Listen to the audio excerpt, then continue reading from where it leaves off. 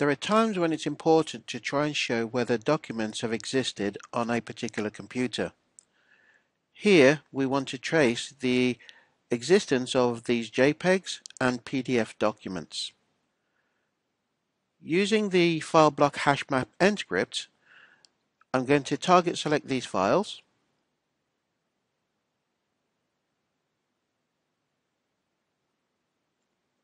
run the script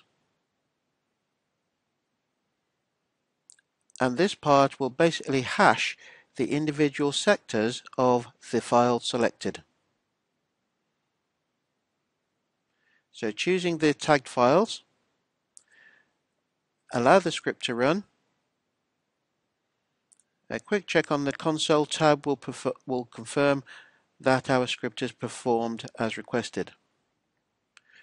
Once the process is complete, we can then bring in our secondary piece of evidence which from our visual identification we can see that this contains a different data set, different configuration, but I'm going to target select the device, tag these files with a different tag,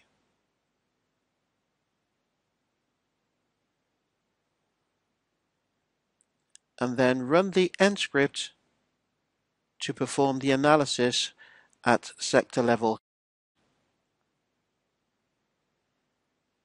Choosing the appropriate tag and bringing in a component part of this EnScript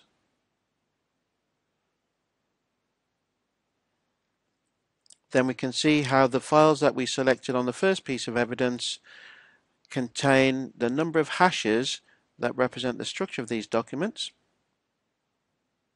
Click on Next. And from our console tab then we can see the processing, the analyzing of that data. We'll allow the process to run.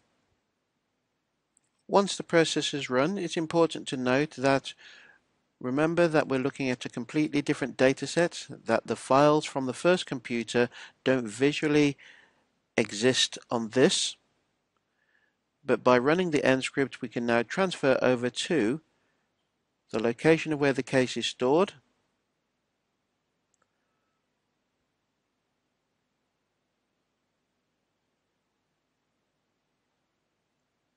And here the PDF documents have been recovered from the unused, the unallocated space of the second computer and where it's not been able to find the complete set of data, we'll have a visual representation of what it could find.